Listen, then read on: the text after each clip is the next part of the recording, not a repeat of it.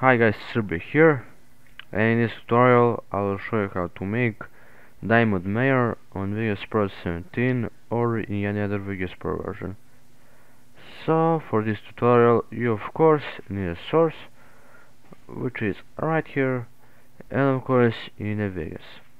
It can be others like 60, 50, 40, 30 or etc or new like 70, 80, 90 and 20 so let's get into this effect.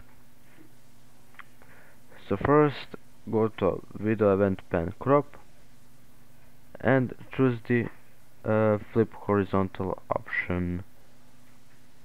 Then go to HSL adjust and choose the dim diamond major option. The hue for the diamond major is 0.060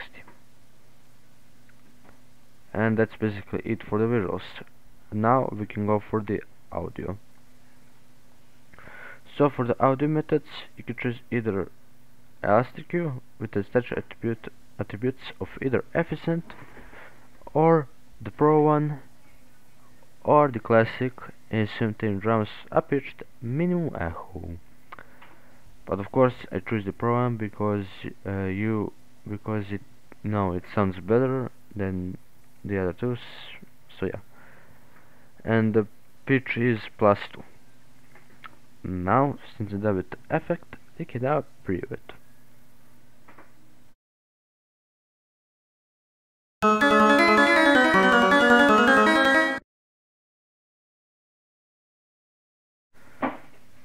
Alright guys, uh, so that's for this tutorial.